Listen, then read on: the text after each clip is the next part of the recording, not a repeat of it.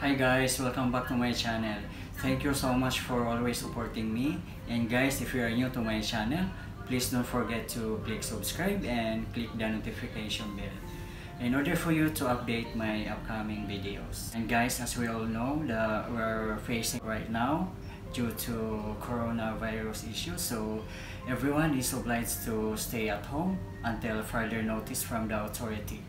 Please keep safe everyone. So guys, I have friends here, uh, flatmates. So they just want to share their sentiments about the issue that we're facing right now. Here they are guys. Please meet them. Hello.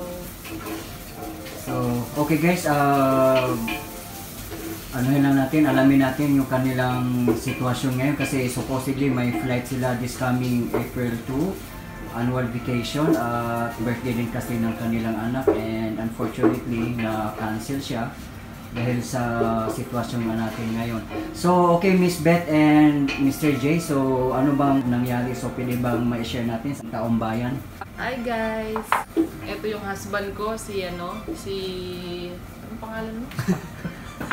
si... Ano yung artista? Ano sabi mo? Nawag kalimutan Derek. J. Si, Je- Si Derek J. Si Derek J. si Derek J. So, hindi po siya si Derek Ramsey, siya po yung husband ko. So, share lang po namin yung story na nangyari sa amin dahil dito sa corona na coronavirus na yan. So, dapat uwi kami ng April 2 kasi nga mag first birthday sana yung bunso namin. Mhm. Kaya lang, may mga nangyari na. As of today, ano na rin, parang may nagkaka-lockdown na rin kami dito sa Dubai. So, nangyari, binook namin yung ticket namin ng January 20. Tapos, March, from ah, March 1, naka-receive na kami ng ano ng Kuwait Airlines na nag ano na rin yung ano nila, yung mga flight nila Cancel. nag-cancel na rin. So, sabi nila, hintayin namin yung hanggang March 26, malalaman kung mag-ooperate sila or hindi.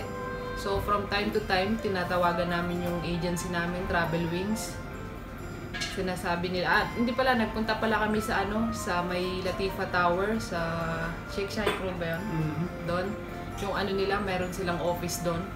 So, yung kabayan doon, in-advise na na kami na huwag nyo na munang ituloy yung travel nyo kasi nga dahil sa corona. Mm. So kami naman, gusto pa rin namin makauwi. Siyempre, yun lang yung ano, once a year lang namin makikita yung yung mga anak namin. So, parang nag-ano pa rin kami, nagte-take pa rin kami ng risk na makauwi. So, hindi namin inano, kinancel yung ticket namin. Inano lang namin yung advice niya na huwag nang iparebook kasi laki rin yung diferensya no, ano pag pinarebook namin. So, nangyari, sabi niya, hintayin namin until March 26. So, naghintay kami.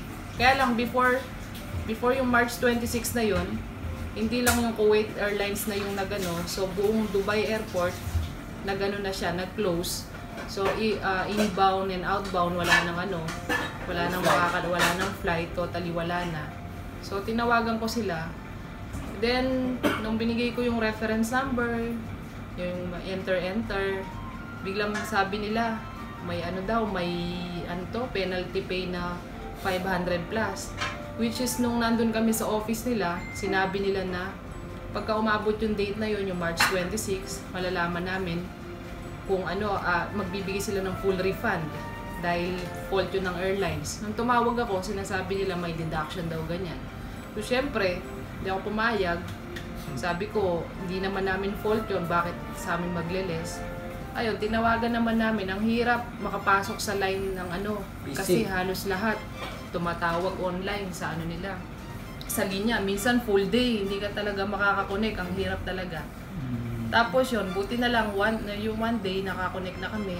Tapos yun, eh, sinabi ko, hindi rin biro yung ano, 500 plus na madideduct. So, sana makuha namin yung full refund. Ayun, buti naman, nakakontak kami at least. Tapos yun, nag-send ng ano, nag-send ng yung isang staff sa Travel Wings, magsisend daw siya ng ano sa Kuwait Airlines para makakuha kami ng full refund. Ayun, so far, na ano naman, na-approve naman siya. Kaya lang guys, my God, ano siya, 1 to 3 weeks yata bago makuha ang refund. Some, almost one Sobrang ano, Almost one Sobrang month. tagal. One month din. Kaya lang, masyado talaga, ano, marami talaga naapektuhan dyan sa ano na yan. So, Virus na yan. Ibabalik daw siya sa ano, kung alin yung card na ginamit mo, doon daw siya ipapasok. So Ulit yung meaning, ano. okay. So meaning 100% siya mali-refund. Ayun, sana. So far, hindi pa natin alam. Pero yun ang pinangako nila, full refund. As in talaga nakipag-away pa ako sa ano kasi ayaw talaga nila bigay yung ano, yung full. Siguro dahil mga nagastos na nila yung mga incentives nila doon or something.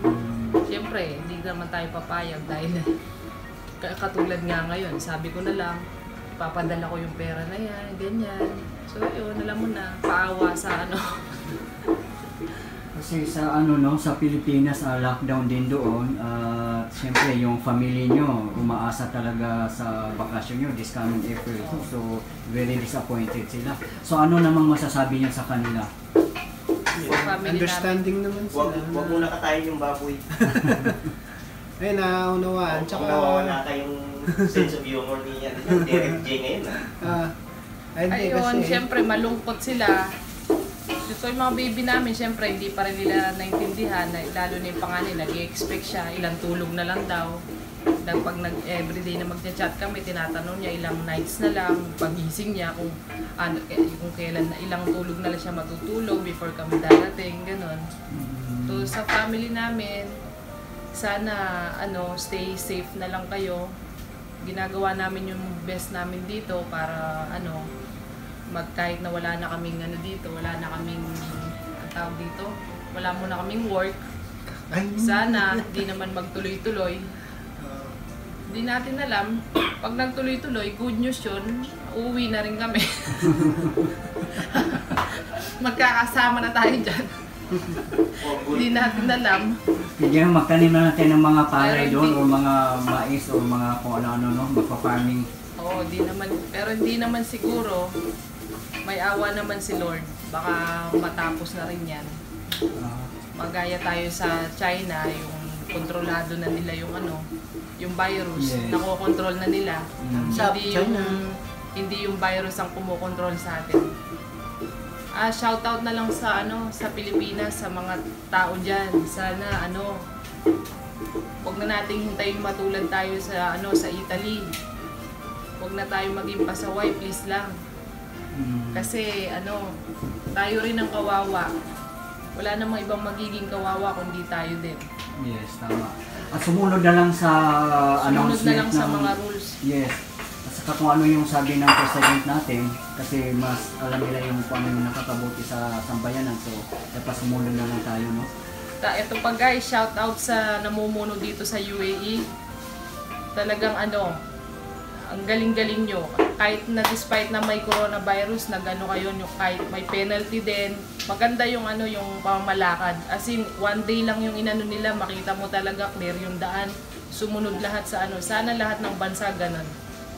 Ganon yung ano, ganon yung gawin nila ano, pagsunod sa mga namumuno. Maawa na rin kayo kay Duterte. Pagod na pagod na siya. Sana, ano, isipin nyo na lang sa ikabubuti yun ng ano, bawat pamilya nyo. Huwag nyo na lang isipin yung mga ano, yung sinasabi yung mga nangungurap. Yun na lang isipin nyo para sa pamilya natin yung ano, pa, pakikisama sa pagsunod sa ano, mga inaano nilang rules. Yeah. Okay, how about you, Mr. A? ayun na, sabi na lahat. Ano pa ba sasabihin ko? Yun. ano. So, mag-shoutout ka na lang ng ating mga tropa doon sa Pilipinas. Ah, shoutout pala, Tasik Family. Kay Con, and Alarcon Family. kay Conrado Alarcon. Ayun. Hello, sana kay mapanood mo Mama. Mama Bibian, Ma, kay Oh, watch mo to, Ma. Daddy Mag-comment ka. Tasik. Kumusta po kayo dyan? Hindi na po, wala na pong problema sa susundo kasi wala nang susundo eh. wala na. Cancel na yung flight. Cancel na po yung flight. Gusto namin umuwi, kaya lang ang Dubai na yung nagsara na ang airport. So no choice kami. Hindi mag stay na lang dito sa Dubai muna. Shout out to Linda and Robe from Italy. Stay safe, my dear, and to your uh, baby, Si Son, uh, son. Stay safe also. Man, baby? Robert and Linda from Italy. Love you guys. Stay safe always. Betmon, Aris. Uh, from Si Paris. From uh, Paris. Ayan ha. Shout out, baka magtampo yan. Aris and uh, Yvette. Legit friend of mine. Ah, so kay shoutout mo na rin yung brother mo sa ano, Ah, okay. City. Uh, shout out kay ah, PJ ng, ng Tagum. Nandun siya ngayon. Tsaka sa asawa niya si Corinne, tsaka sa baby nila si Pay, Paytot. Tawagin. Okay, yun lang naman. Shout out Stay yung safe. ano, yung brother ko sa ano, sa nasa Taiwan, si Oliver. Ingat ka dyan bro. Doble ingat. Please lang. Ah, stay safe. Tapos kumain ka ng madami para malabanan mo yung virus, lumakas yung immune system mo. kay kay Lugaw, meron dito.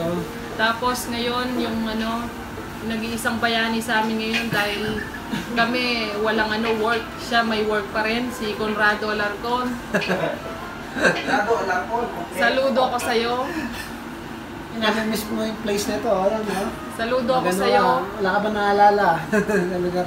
Kahit delikado, may ano, ewan ko kaya yata ganado ka kasi may hazard fee ngayon. Iba ka talaga, 50% Conrado Alarcon. Yung sahod mo. Pero, tol, ingat ka lang dyan. Huwag naman ano, puro trabaho. Pagpahinga ka rin para ano, para healthy ka pa rin. So, sino pa ba mga shoutout natin? Oh, shoutout sa mga hindi namin na shoutout. Ay, yung ano ko pala, yung friend ko, si ano, si Mario Tolentino. Hey, how are my friend? Kay Sahe Guda Guda, Tiki Tiki. kasi yung ano niya eh. Yun kasi yung pang gano niya, pang grip niya. Tapos sino ba ba? Yun, yun na. So, Sino ba? ayun pa yun lang. Thank you so much guys. Panibagong